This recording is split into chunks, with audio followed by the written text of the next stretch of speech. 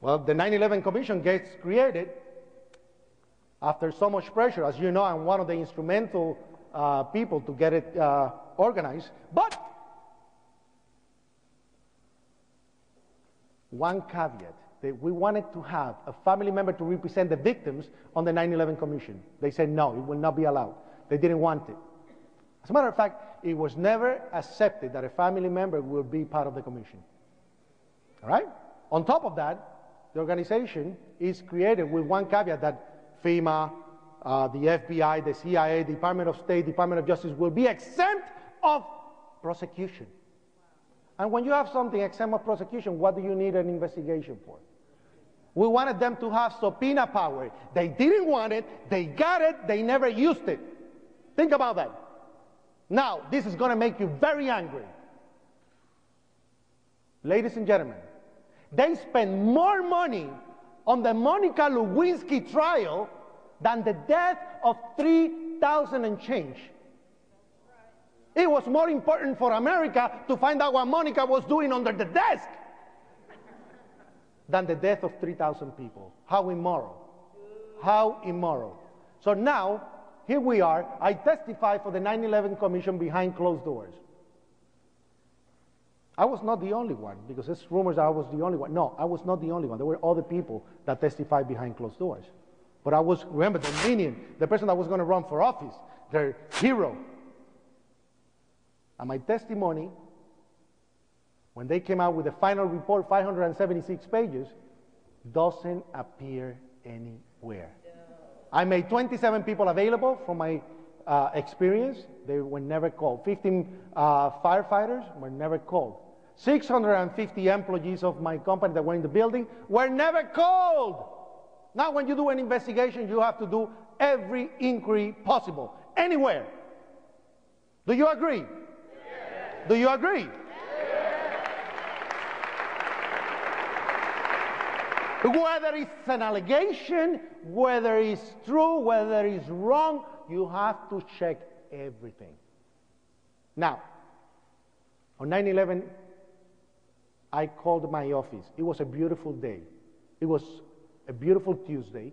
And I called my supervisor, his name Anthony Saltalamacchia. And I say, Anthony, I'm not going to work. And he went crazy. No, you gotta make it to work. What's wrong with you? Come. Because nobody wanted to do my job. Again, remember, it's 110 flight of stairwells. So if I took from if I took off from work, that meant that somebody had to do my job. Rodriguez routine, no, I'm going home too. And people would leave because they didn't want to do it. So, of course, he begged to me to go to work. And I said, okay, I'm going to be late. I made it at 8.30 in the morning. 8.30. And I went straight to the uh, basement, number one of the tower. The building has six sub-levels of basement. B1, B2, all the way down to B6. Our support office for American Building Maintenance, that was the company that I worked for, was located on B1. So I went there, I'm talking to the supervisor in front of the door, when all of a sudden at 8.46, talking to him, there's 14 people in the office, we hear, boom! An explosion so powerful and so loud that pushes us upwards in the air coming from below. And it was so powerful that all the walls cracked, the false ceiling fell on top of us, the sprinkler system got activated, and everybody started screaming in horror, help, help, help, because we didn't know what was going on. Everybody screaming. The first thing that comes to my mind is that a generator just blew out on the mechanical room. The mechanical room was located right below us on the B2 basement number two. And that's where you have all the generators, all the water pumps, all the machinery for the elevators. Everything was there. But I'm speculating. I'm speculating. I'm saying it's a generator to myself. Not that it ever was a generator because I never know what it was. I never find out what it was. But when I went to verbalize it, because everybody's screaming in horror, we hear! And an explosion all the way on the top of the building. And that was the plane hitting the top. Two different events, separated by almost seven seconds. Different events. And when we hear that, remember the building was designed to oscillate. and it shakes from side to side so much that you could hear the walls cracking. And everybody's screaming in horror, help, help! But nobody's moving. Everybody's like paralyzed.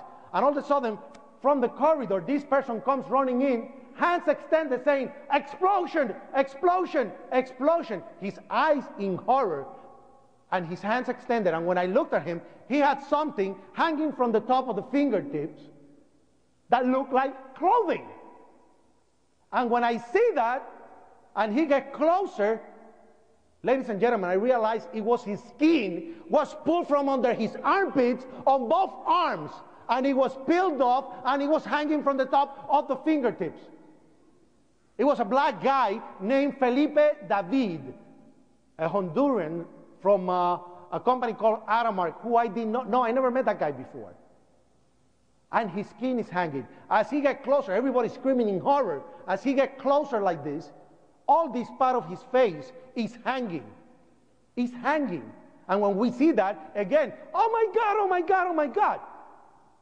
And his red shirt, because it wasn't red, it was soaked in blood.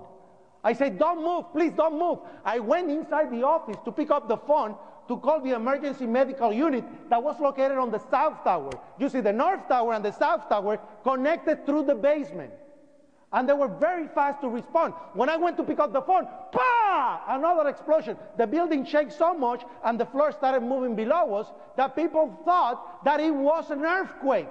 And they started going inside the office under the door frames thinking that it was an earthquake. And they're piling up over there, screaming, Help, help, help. My supervisor, Anthony Saltalamacchia, is screaming, It's a bomb, it's a bomb. Not that it was a bomb, but he survived, like I did, the bomb of 1993. On 1993, a bomb was placed on that tower on February 27, and he killed six people, injured 1,000 people, and he's acting by osmosis. He's reacting to an experience.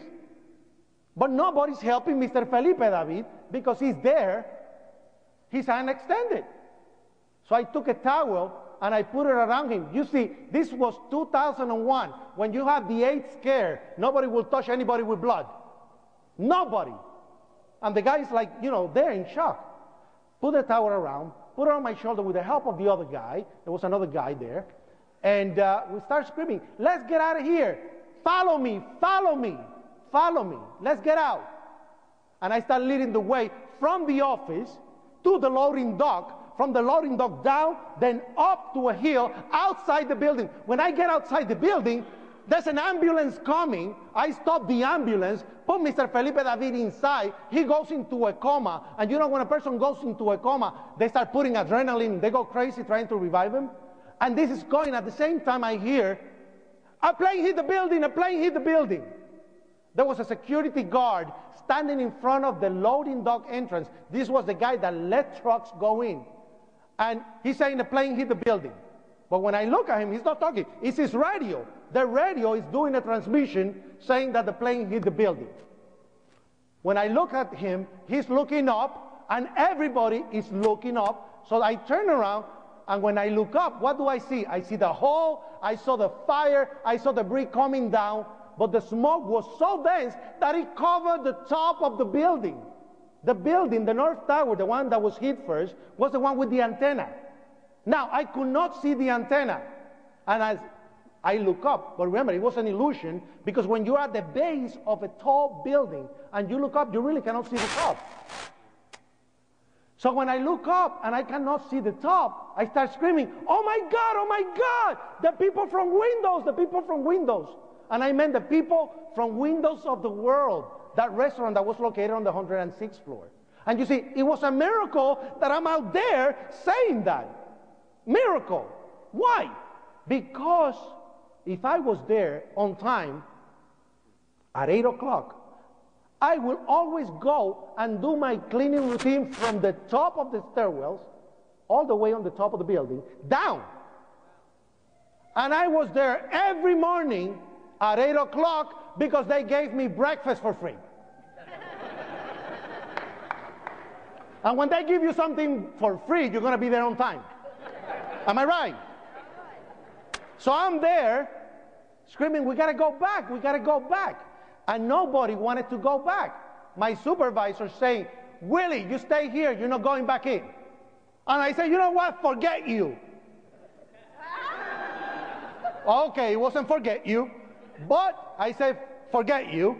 And I went to the security guard. I took the radio and I started running back inside the building through the loading dock down straight to the South Tower. And the reason that I went to the South Tower was because after the bomb of 1993, the Port Authority spent $155 million retrofitting security, uh, uh, uh, making the building stronger because of what happened on 93, you know, reinforcing the walls. And they set up something called the OCC, which was called the Operation Control Center, which was a center that controlled everything that was emergency. And I went there to let them know that there was a person injured outside the building. So I go there with the radio, and that was supposed to be manned 24 hours a day. And I start hitting the window, help, help, help. There was nobody there. There were people there earlier because there were transcripts of people being there earlier. But where were they when I was hitting the window? So I'm screaming. A person comes from below named Jimmy Barrett. Jimmy Barrett comes up. I said, Willie, what's going on?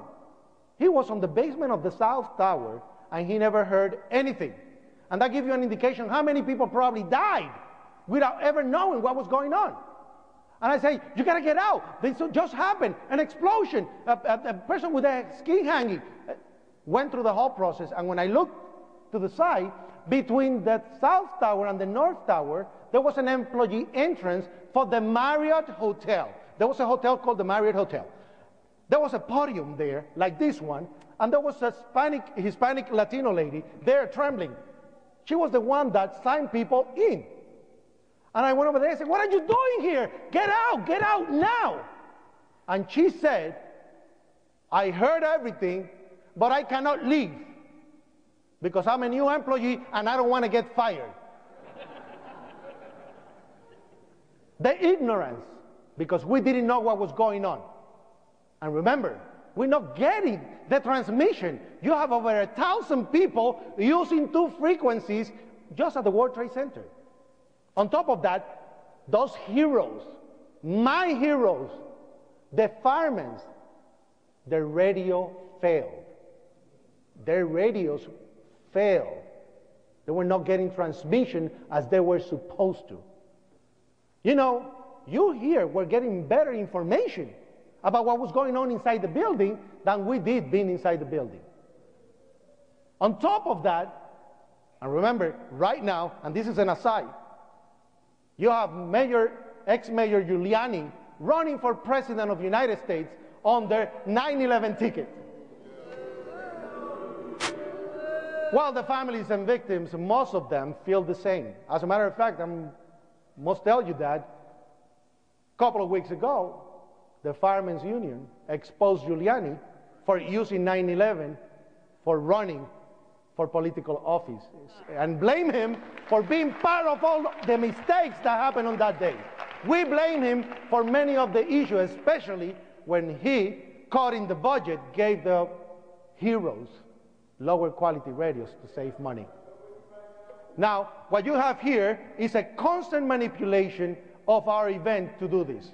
Now, on top of that, you have to realize that when 9 11 was going on that day internally, that lady didn't know. I pushed that lady out. Get out, get out, get out. Pushed it out. Out of the building with Jimmy Barrett. We went back to the North Tower. And the reason we went back to the North Tower, all the water is there. The sprinkler system, remember. And when I get there, I only found one person, a guy that worked for the recycling company. And he said, I hear screams, I hear screams. But we couldn't hear anything because of the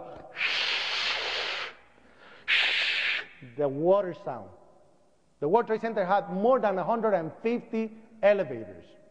So I put my ear in one of the elevators, was called the K6 car. And when I put my ear, what do I hear? Two people screaming, help, help, help. And something that I never forget and shocked me. Said, we're gonna drown. And I couldn't understand why they were saying that. There were two people there that apparently, later I find out when the explosion happened on the basement, they went to cover themselves on this elevator. The door closed because it was a freight elevator. The door closed this way. And instead of going up, they went down, they lost power. They got encapsulated between two levels, between the B2 and the B3 floor. And they're encapsulated, and all the water from the sprinkler system was going in, but wasn't coming out at the same rate. And they're screaming that they're going to drown. Now, remember what I told you. I was agnostic. And at that moment, I said, God, please help me, help me. With such a devotion, with such a soul, my entirety, my, my, my, my, my soul was praying for these people. Please help me. And when I look down, what do I find? In an area that was supposed to be totally clean of debris, construction debris, I found a metal pipe. Took the metal pipe, and with the help of the other guys, we opened the door. The door opened up this way. Once the door at the bottom hits my level of the feet, all the water that is on my side goes rushing in. That's when there's no elevator there. I look down. When I look down, I see these two people. Help! Help! And you're going to ask me, how was I able to see them? Because it was a freight elevator. And freight elevators don't have a ceiling, a roof, like a regular elevator. It's just a metal mesh, and you can see through. And when I look down, there's two guys with water up to here. One of them, Salvatore Giambanco, a painter for the Port Authority who I did not know. I never met this guy before, and a delivery guy. And again, we don't know how to help him. And again, I said, God, please help me. And like a flash came to my mind that in the area where you have the trash compactors for the towers, the electricians always had ladders that they used for changing light bulbs, changing cables, but they always tie them up to a pole with chains and a lock so nobody would steal them because it was at the loading dock entrance. You could go with a delivery truck and say, Oh, nice ladder, and steal it. I still have one. so I'm running over there saying, God, please let me find one, let me find one. And I ran there, and they were all tied up and chained and locked, except one of them. The longest one of all of them was there to save these people. And I picked that up and I went back. We dropped it inside. We went inside. And you know those stories of uh, people in difficult situations have an adrenaline rush and they have strength that they don't know where it comes from? Because we were able to pull these two guys with basically one hand out of the elevator. Wow. We got them outside, put them in an ambulance, and I start running again down the loading dock inside the building while everybody's going don't go back, don't go back, don't go back. And I started talking in Spanish because I didn't want to be stopped. No, no, yo tengo que volver para atrás porque no quiero que me paren porque te, mis amigos están. And what did he say? Because I didn't want to be stopped. I wanted to get to my friends. And when I get down there, I only found one person Police Officer David Lim, in charge of the K9 unit, those dogs that smell for bombs and, and explosives and, uh, and, and, I'm sorry, bombs and, and drugs. He was the one in charge of that. And he said, Willie, do you have the key? Do you have the key? And he meant, Did I have the master key? There were five master keys in the building on that day. The people with the other four were trained on egress, escape, rescue, first aid, everything. And I have the other key.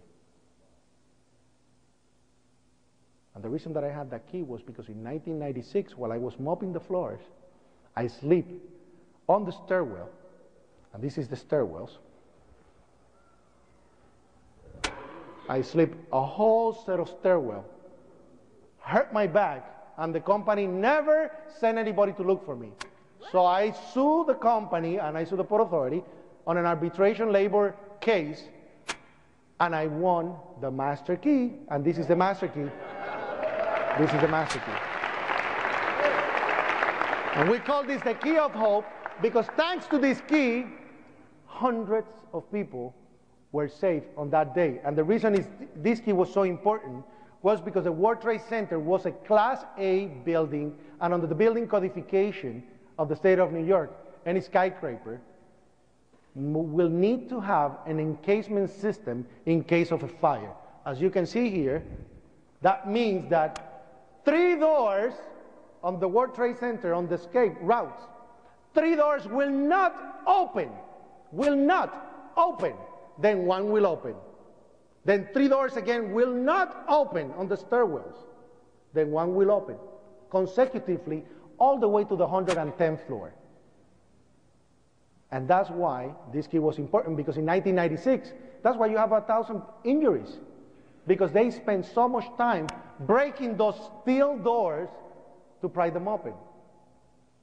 So I said, Yes, I have the key, let's go. And we made it to the lobby. When we made it to the lobby, the firemen are there with something called a fire access key, which is a key that they will put on any elevator. And if the elevator is up, will come down. If it's down, will come up to save the time. I mean, to save time. And they will go and take it. So I say, Yes, yes, yes, let's go, let's go. And the police officer is saying, Don't wait for the elevator. Follow him. He knows the best way to go up, and he has a master key. So we started going up the stairwell and those heroes again, my heroes, I uh, can't stop saying it, it was a memory that I could never forget for the simple reason that as we go up, they have the most difficult time going up the stairwells because they have between 55 to 125 pounds of equipment in their backs. Have you seen something called the Jaws of Life, which is a machine that if you have a car accident will break the, the they have that. They have drills. They have a guy called the tank oxygen man. We have two tanks and change the tanks for uh, somebody else. But as we went up the stairwell, people coming down were bumping onto us constantly, which made our process of going up very difficult, extremely difficult. As we go up, people coming down, bumping onto us, we said on the third floor, let's change. So let's go by the A staircase. The World Trade Center had three stairwells, A, B, and C. So we went by the A stairway, which was the one that faced the area that was hit by the plane. As we go up, I started opening doors and letting people out. Opening doors, letting people out. Those, that key opened all those doors. Those heroes will go in because firemen go as a unit. They go in as a unit. They go in and they spread. And they look for the officers to bring the people out, and they just reunite and get out. That's how they do it. So, opening doors and letting people out. But then I found myself sometimes two and three floors above the firemen opening doors. I said, What's going on? These people are not the same rate as I'm going up. What I didn't understand at that moment was that, number one, I did not have any equipment in my back. I did not have any protective gear. I didn't have the helmet, the, the fireproof vest, uh, the boots. And on top of that, I did the stairwells every single day. For 10 years, I was doing that stairwell. I was in better physical condition than the firemen. Well, at least at that time, because I think I have to do the stairwells again. so I'm going up, and I'm like, what's going on? And again, you know, those heroes are not going at the same rate because they are trying to go into every office. And as I go up, I hear, pa, pa, pa, three huge explosions, and I was like, what was that? And I got so scared that I went down and I went to the fireman and I said, What was that? What was that? And he said, It must be the gas tanks blowing up in the kitchens. It must be the gas tanks blowing up in the kitchens. The kitchens, ladies and gentlemen, were all electrical. That did not make sense. The World Trade Center was a Class A building. That's, anybody in construction here will tell you that that's hazmat hazardous material. It's not allowed. So, of course, I wasn't going to have an argument with that guy at that moment. Yeah, okay, gas tanks, all right, yeah, okay. So I went up and I continued, but it was so huge that it stayed in the back of my mind. So I continued opening doors and letting people out. Up to the moment that somebody, two guys, came down on the stairwell, and one of them said, There's a man on a wheelchair on the 27th floor, and he's having problem breathing. He cannot breathe. And I said, What can I do? I don't know what to do.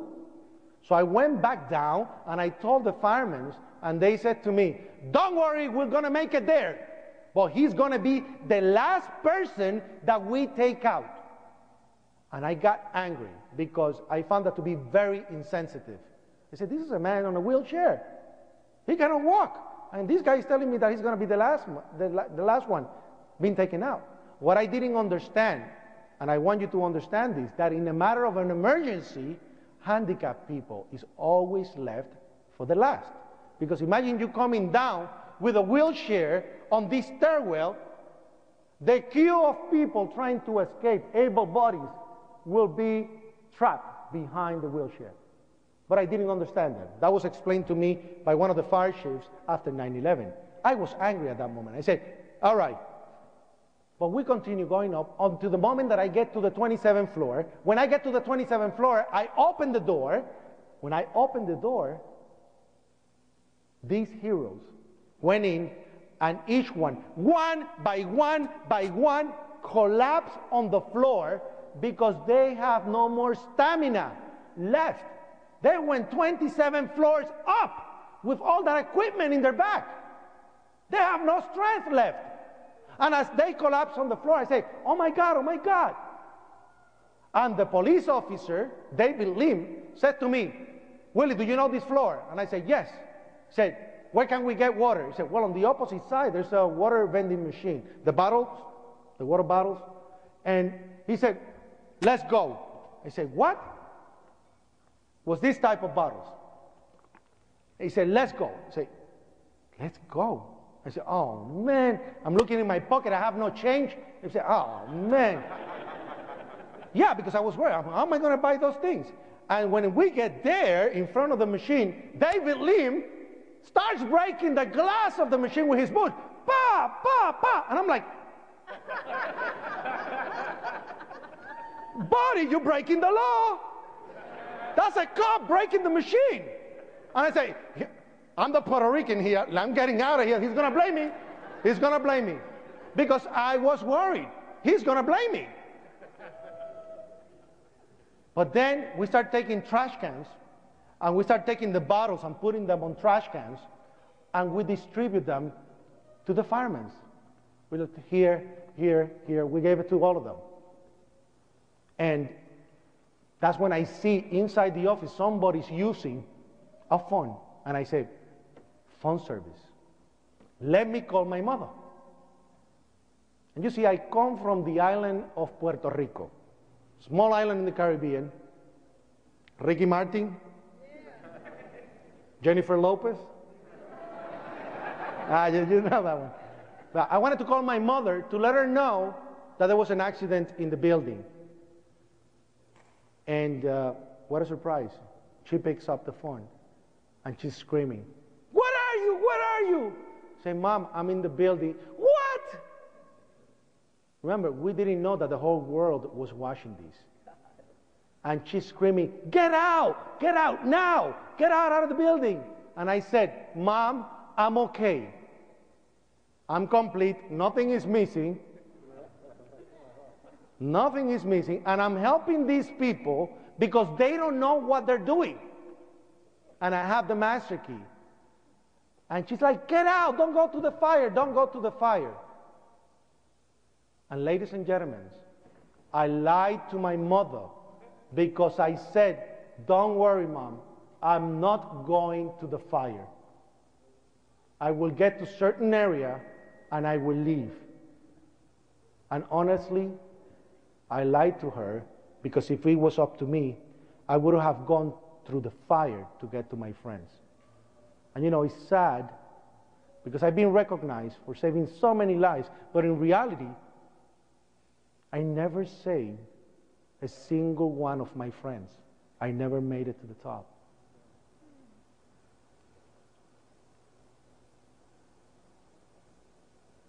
And this is sad. Stays with you because you suffer something called survivor's guilt. Why did I survive and they didn't? Why are you here and they're not? And it's not, not easy. It stays with you like an imprint for the rest of your life. I hang up the phone and I'm getting calls on the radio by the supervisor of the building. Willie Rodriguez, location. I'm on the 27th floor. I'm with the firemen. I'm, I'm helping them. Abandon the building, abandon the building. And I'm like, I can't. You know, I'm helping these people. As a matter of fact, you can get the actual transcripts, the actual transcripts from the fire department website, and you can hear the conversation.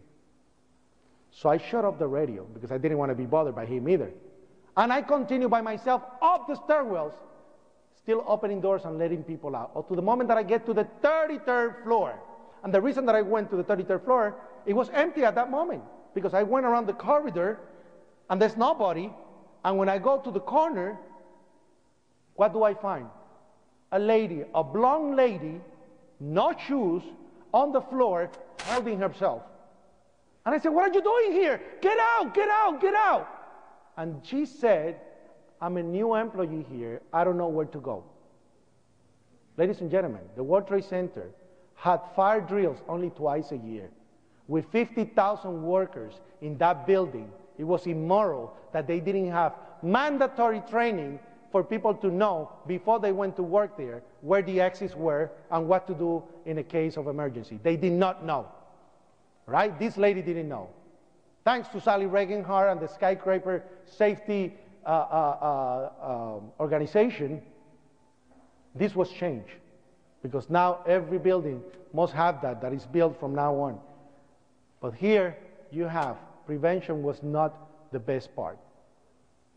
I picked it up. I said, You got to get out now. You got to get out now.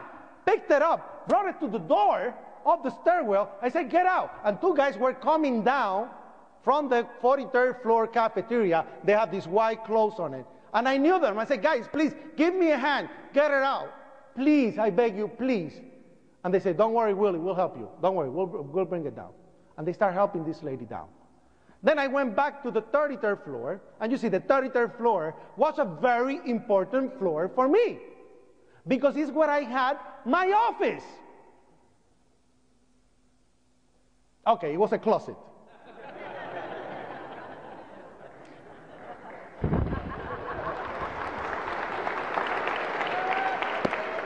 But you know, you call it your office. Oh, meet me at the office. Meet me at the office. But that's where I have all my cleaning supplies for the building. And I wanted to get there to get a box of those masks to give it to the people, distribute to the people. And when I go there, I hear something very strange. On the 34th floor, the floor above me, I hear this strange noise going boom, scratching the floor. It sounded like a big, how you call this, uh, metal dumpster with the steel wheels scratching the floor and it sounded very heavy. And I got totally scared. You know why? Because I knew that that was an empty floor. There was nobody there. It was scraped out. You know, the construction will go there when the tenant moves out and they scrape all the walls, they take all the sheetrock. You know what I'm talking about? They take everything out. And how did I know this? Well, I'll tell you a secret. I used to hide there for lunch because I didn't want to be found by the supervisor. And yes, sometimes I took more than half an hour lunch. and yes, sometimes I slept there. And no, I never did anything kinky there. so I knew it was an empty floor And you know, it's funny because people have come out and say, no, there was construction there. They tried to debunk this. But the funny thing is that that same information is the one that was going on the 34th floor. That construction was going on the 34th floor of the South Tower, not the North Tower. Anyway, I didn't open that door because I was scared. That was the only door that I did not open. What was there? What was going on there? Some people say it may have been the firemen working there above me, maybe another unit. Could have been, I don't know. I never opened the door. But that noise was too strong. And I continue up to the 39th floor opening doors. When I get to the 39th floor, I open the door. I'm on the corridor. From the opposite door of the stairwells, David Lim comes up with two firemen. And we're talking about what was going to be the next process of rescue. When we hear boom, very strong explosion, very, very powerful, the building shake. And at that moment, what I think afterwards, you know, trying to put the, the whole thing together, that that was the impact of the plane on the other tower. Not that it was, not that it was, but that's what I thought afterwards. And when I hear that, automatically we lost our footing, and on our building we hear pa pa pa pa pa pa pa pa, pa and a collapse, boom. And on the radio we hear we lost 65, we lost 65 meaning the 65th floor, went down floor by floor by floor, all the way down to the sky lobby, which was the 44th floor. And I'm on the 39th floor, five flights away. And I start screaming, we gotta go up, we gotta go up. And David Lim said, Willie, we, you've done enough, but you don't get paid for this. Get out. I said, I'm going up, man, I'm going up. He said, Willie, you're still a civilian, you're my responsibility, get out. Said, David, I don't care, I'm going up, man. Said, Willie, you cannot go up there. Get out. Better if you give me a hand with the person on the wheelchair on the 27th floor and get out. The person on the wheelchair was named Ed Beye. And he was already placed on a rescue basket. You know those rescue baskets that they use on the helicopters? One of those. And he was tied up. And I said, David, I will help you. I will go down. I will help you with this guy. But I'm coming right back because I am not giving the key to anybody because I don't want to get fired. Honestly, because they told me that if I ever lost this key, I would be automatically fired and I have to pay for the replacement of every lock. And that was expensive locks over there. I will still be paying for it. So I said, I'm not giving this. I was holding this key to dear life. So I ran down, went to the 27th floor, said, I got orders to get this man out right now. And those heroes, those firemen, as tired as they were, think about this. One of them stood up and said, Okay, buddy, we'll help you. Let's go. As tired as they were, those heroes. I said, Come on, guys. And we pick up Mr. Ed Beye and we started going down the stairwells. As we go down, we take our steps, we take a little break, but continue going down. And then I realized that I heard something that I didn't realize before. I heard the screams of the people screaming for help inside the passenger elevators. And that's something that you never hear about on any of the statements. You never hear about this. And my biggest regret was that I didn't have the training or didn't have the tools to help these people. And as we go down, you know, that World Trade Center, these stairwells should have been encased in concrete, the stairwells because it's a fire escape area. This is all sheetrock. You could see offices through the walls. Stupid. As we go down, we hear boom, what I think is the collapse of the South Tower. Remember, I have no windows. And it was so powerful again that the building oscillated, but the fluorescent lights inside the towers on the stairwell the long ones, they started to break at unison because they shifted position. The holders, they started clash, clash, clash, clash, clash, and all the windows blowing up basically. And when I hear that, I didn't know what it was. I mean, I mean we lost our footing. The guy on the wheelchair, Mr. Ed Beye, he's like in horror. And I said, don't worry, after this we're going to get a beer. And we're like, yeah, yeah, yeah. we don't, I mean, I don't even drink. It's just, just something that you say in the process to help people. Mr. Ebeye was having difficult time breathing, very difficult time. Nice guy for what I was able to gather in those minutes that I spent with him. And as we go down, we make it to the lobby. When I open the door, oh, no, the door was open, I'm sorry. When I get to the lobby and I look right in the center, all that beautiful marble that was on the World Trade Center lobby is pulled from the walls. There's no marble there. The only thing you saw was the cement patches where the marble used to be. And then the doors of the elevators were open from the bottom up, like this.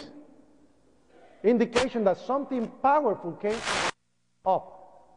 Think about that. Open like this. Why they didn't open like that? And when I saw that, I was like, what is this? This is dust, this gray dust everybody, uh, uh, on top of everybody and everywhere. And one of the firemen said, get the ambulance ready, get the ambulance ready. I looked to the left, and the whole shopping center and mezzanine is collapsed. So I start going to the front of the building, the main entrance that faces West Street. And as I go to the front and I get closer to what it was, the revolving doors, there was no revolving doors left. The only thing you saw was the frame. Every glass that was there was broken into pieces. As I get there, and I get in the middle of that center frame, I look and across the street, a block and a half away, what they call World Financial Center, the police have the area cordoned out so nobody will go in. When they see me there, they start screaming, Don't look back, don't look back, don't look back. And when they tell you don't look back, what do you do? You look back. Human condition. Human condition. So I turn around and say, well, don't look back. And when I turn around, ladies and gentlemen, I saw the most horrible thing I've seen in my life.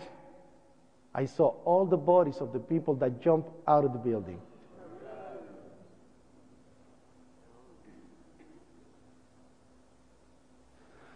There were bodies everywhere, and you could not recognize them because the impact was so powerful that the only thing you saw was skin, skin mass, and clothing.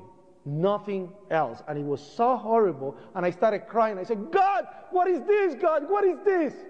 And when I lowered my face again, and this is the worst part of my presentation, when I lowered my face, the only body that I recognized was that lady from the 33rd floor that I helped escape. I found her cut in half. And it was like a glass came from the top of the building, and that's my speculation. And like a guillotine with the force, basically like a guillotine cut in half. And when I saw that, I started crying, God, what's this? God, please, what's this? Because this was horror zone. I saw more death in a couple of seconds than a soldier would see sometimes in an act of war. And when I saw that, I started crying, and all of a sudden, like an earthquake, everything started to rumble. And all of a sudden, I hear, run, run, run! And the police is running across the street, and I have nowhere to run. Because remember, if you took the World Trade Center and put it sideways, it went almost to Chinatown. Because it was a city within a city, 110 floors. And I said, This is going to kill me. This is going to kill me. And the only thing I saw, a distance from here to the wall, was a fire truck parked in front of the building. So I started running towards the fire truck. I slipped right under, and the building started to collapse right on top of me. Pa, pa, pa, and the truck going down. And the only thing I said at that moment was, God, please don't give my mother the pain of seeing my body in pieces. I beg you, please, because I didn't want my mother to see what I just saw bodies that were unrecognizable. And I was crying. And all of a sudden, silence. And then this dust, remember this cloud of dust when the tower collapsed?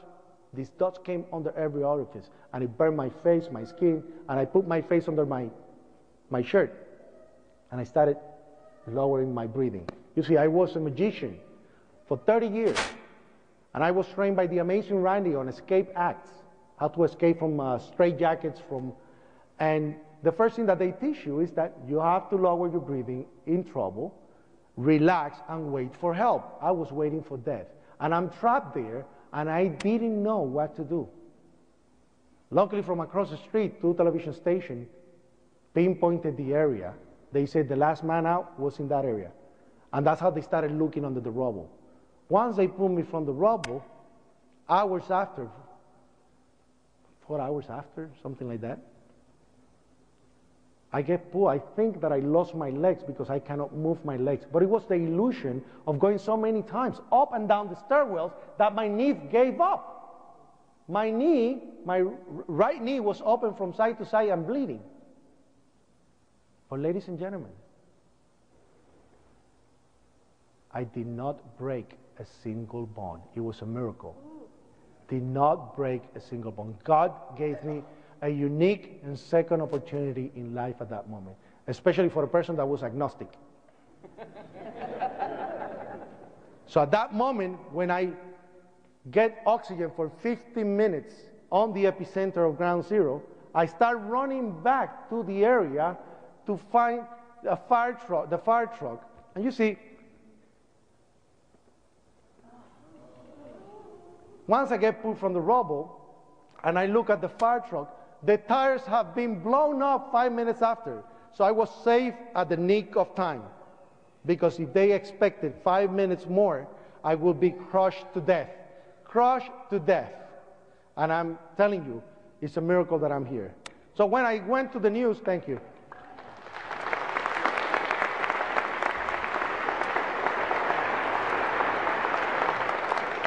I went to the news, and uh, all of a sudden, CNN is calling me. They're over, uh, come, come, come here.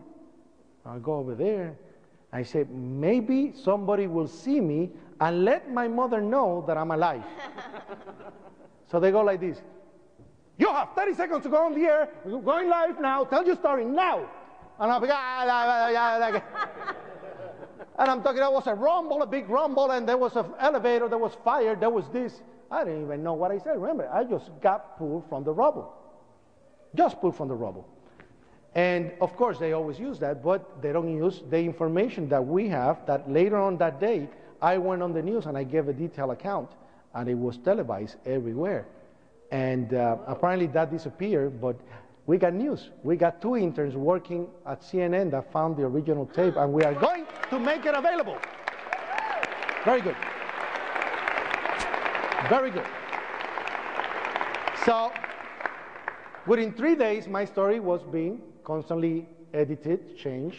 You know, it was a great story. Think about it. Yeah, janitor not training, uh, help save hundreds of people. Great, wonderful. But take everything about the explosion. Take everything about the victims. Nobody actually believed this until after I become an activist. Felipe David wakes up 13 weeks after from coma sees me on television in Spanish, calls the doctor says, That's the guy that saved me. And they do the connection, and uh, NBC makes the encounter. And we do the encounter, and I meet for the first time Mr. Felipe David, and his story exactly the same as I told you right now. And the sad thing is that Felipe was never called to testify by the 9-11 Commission. He had to go to Peru, this is in Peru, to tell his story. It was seen by 102 million people in Spanish. You never heard of them. You never heard of him. Then on top of that, that happens, this guy is reunited with me, survives also, burned on the back. This is actual video, but uh, it's not working and he talks about this explosion on the basement and how he was burned. Then you have David Lim. He was the Port Authority police officer. I went on the news saying that he died. What? I said he died because I left him in the building. And I went on national television and I almost killed his family. Oh my God. Yes. But he was the cop that was under the rubble that took his gun and started shooting so people will find him.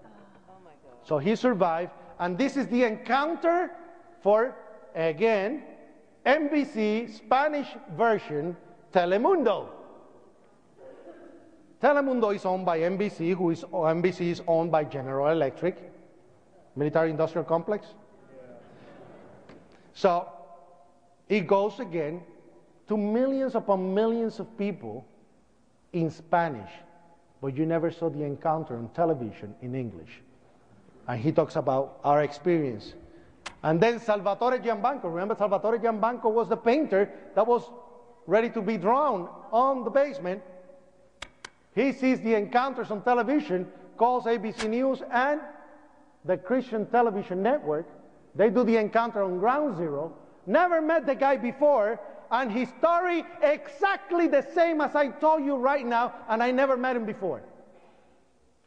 He talks about eh, everything that happened. Of course, he was never called to testify for the 9 11 Commission either.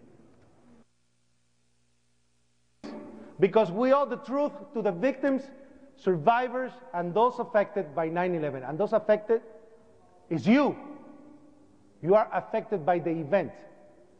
We're still searching for answers. We don't want our tragedy to be used as an international political agenda that we do not agree with. And in conclusion,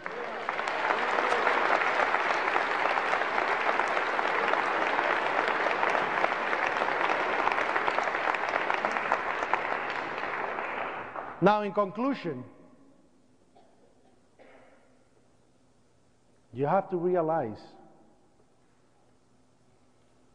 that we're losing our rights constantly. With the excuse of making us more secure. You have to realize that we don't have the activism that we used to have on the 60s. Being around the world, they call us the MTV couch potatoes activists. That's what they call us. They say, You're the one sitting there on the couch saying, I don't like this, I don't like that, but we don't make a change. Take it upon yourself to make changes for the better. Take it upon yourself to ask questions and not to be sold something that we are still, after 9 11, still requesting to be exposed. We want a reinvestigation. We want all the documents to be available, not on the Secrets Act. We want everything to be open, and it is not. I don't do this, and I've been accused of doing this for attention. I don't need to do this. I'm already part of history. I am living history. I experienced it, and I went through it for the last six years. I don't like to do this. Do you understand the burden that is on my back every day to relieve 9 11 and to talk about it nonstop, but because God gave me that second opportunity, I have to glorify that second opportunity and be the voice for those victims that don't have answers.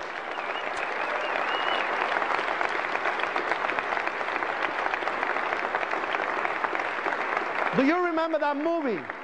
Do you remember that movie, uh, Ghost, with Patrick Swayze? Sam, that he couldn't go to rest until they found the people that killed him? Well, I feel the same thing with those angels behind my back still searching. And I tell you, for me, it's a mission. I do this not for money because I could have taken millions of dollars for campaign financing. I could have taken millions of dollars from Hollywood. I, have take, I could have taken money to do a book or many books that I was offered. Money left and right. And there was money to be made. Ask Major Giuliani. And Giuliani Partners, they made $107 million in the last six years. Look for it. And here I am. And if you didn't know this, two years ago, after raising millions of dollars for the community, after putting programs for the victims constantly, after getting an amnesty, I found myself homeless, living under a bridge. That was two years ago. And nobody helped me. All right? Because those non for profit organizations said, mm. And I raised millions of dollars. So we didn't do this for money. You can go into my website, william911.com, william911.com, and you can see the actual television PSA, public service announcement, me asking for help for the victims. So I raised millions of dollars for those organizations, and I was left hanging. Was an organization. A church came out and gave me a hand. So, definitely not for money. We survive on donations. That's how we go around the world. People ask, who pays for your trips everywhere? Say, grassroots, people like you. This is the same suit I have in the last five years. So don't get fooled by this. It's the same suit that you have seen on all those pictures. Yeah. You think I should have bought one by now, a new one? Yeah, right. So we survive on your donations as well. But anyway, ladies and gentlemen, take it upon yourself to make a change. If you cannot make a change, then support those people that are making the change for you and putting their skins out there for you. Because right now I could be deemed an enemy combatant because I'm against the war in Iraq. And as you know, the president signed a directive now, or an amendment to the many directives that he wrote before, that makes it illegal for anybody that interrupt the Iraq process. In other words, anybody that is an activist against the war in Iraq. So, you know, I could be stopped tomorrow very easily. So take it upon yourself to make a change. And number one, God bless you for being here. And number two, thank you for your time because I know it's been valuable. God bless you.